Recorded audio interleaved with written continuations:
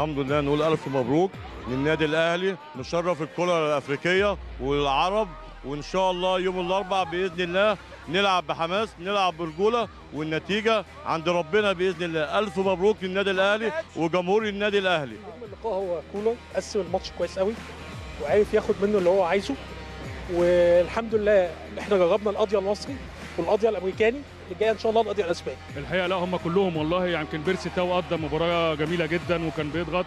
عندنا كل اللعيبة قفشه طبعا برضو لما نزل يعني عمل القضية ممكن تاني في الدقيقة 88 مارسيل كولر ده مدير فني رائع واختياراته وعنده ثقة في نفسه وفاهم بيعمل إيه.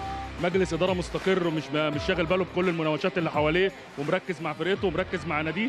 ده نادي القرن الأفريقي وهو يليق إنه يوصل للمستوى اللي هو فيه النادي الأهلي وده فخر كل أفريقيا والمصر كلها والعرب كلهم. والله إحنا بس هنبدأ الأول بالكلمة اللي بيقولها المدير الفني والمدرب ومدير الكورة. إحنا النهارده بالليل هنفرح. النهارده فرحة بس اليوم كله.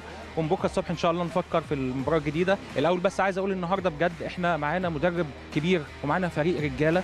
معانا مدرب إزاي يقرأ فريق على فكرة الفريق آه، سياتل ساوندرز فريق قوي جدا فريق مش ضعيف خالص بس معانا مدرب آه، بصراحة آه، مدرب ما شاء الله عليه محنك ومعاه team محترم عرف إزاي يقفل كويس قوي عرف ان هو في الدقيقة 60 غير الصف اللي قدام كله نزل بلعيبة fit ولعيبة لسه نفسها معاها قدرت تسيطر وقدر يحقق اللي هو عايزه بصراحة 10 على 10 مستر كولر بصراحة ولعيبة فوق الممتازة التوفيق هو آه، هدف أفشه فيه توفيق كبير قوي هو ما شاء الله يعني هو آه، الكوره بتحبه يعني ما شاء الله عليه. دايما هو سبب فرحتنا يعني. طبعا ألف مليون مبروك وإن شاء الله منتظرين الأكتر والأكتر وده اللي الأهلي عودنا عليه إن إحنا نهزم إن شاء الله ريال مدريد ونوصل لل final بإذن الله ونكسب كأس العالم عشان يبقى على صدرنا كده كأس العالم إن شاء الله علامه الكاس كلهم ألف مبروك وأداء كويس جدا الشوط الثاني وقفشة كان نجم الشوط الثاني وان شاء الله الفوز المرة الجاية صعب باذن الله يتحقق إن شاء الله. الماتش جميل واللعب حلو قوي وألف مبروك للأهلي وابطال والأهلي أبطال